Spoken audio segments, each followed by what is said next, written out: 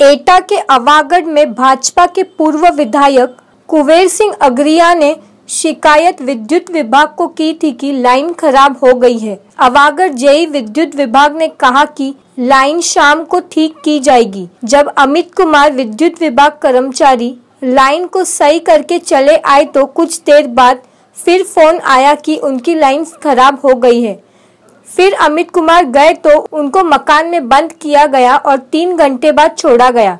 विद्युत विभाग के कर्मचारियों ने धरना लगाया। बिजली घर को बंद कर सरकार से गुजारिश लगाई।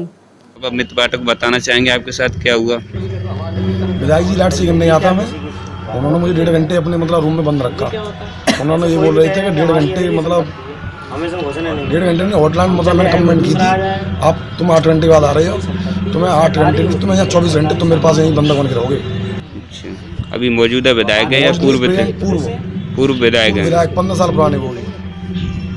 उन्होंने आपके साथ मारपीट भी की है क्या? निखिलेश वगैरह ये हस्बैंड उन्होंने आपके साथ मारपीट भी की थी क्या? करने की कोशिश की थी और ये कह रहे थे जितनी देर में लाइट सीखी उतनी देर यहाँ बंदा बन के रहोगे। बदतमीजी करने की कोई कमी नहीं छोड़ी है मतलब हाथ वाथ छोड़ने की कोई गाली। गलौज तो मतलब काफ़ी दी है लेकिन मारपीट करने की गले वाल में पकड़ा पकड़ी और मतलब हत्या पहुँची मतलब उन्होंने की मतलब लेकिन तुरंत बताया जी साहब ने तुरंत एक्शन भी लिया वहाँ पर इससे विधायक जी से। विधायक जी से मतलब जय साहब से खुद बदतमीजी की है उन्होंने।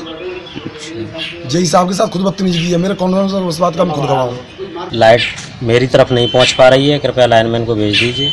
मेरे पास इसकी हेल्पलाइन में भी कंप्लेंट थी। कंप्लेंट के आधार पर मैंने लाइनमैन को भेजा। लाइनमैन को भेजा तो लाइनमैन उनकी लाइन सही करके चला आया। लेकिन पूर्व विधायक जी द्वारा ये कहा गया कि मेरी लाइन अभी तक सही नहीं हुई है। जब मैंने कॉन्फ्रेंस पे लाइनमैन को, विधायक जी को, मैंने तीनों को कॉन्फ्रेंस पे लेके बात की गई तो लाइनमैन द्वारा बताया गया कि इनकी लाइन सही कर दी गई है। इनकी लाइन पर्सनल ख़राब नहीं थी खंभे से ख़राब थी, जो सही कर दी गई।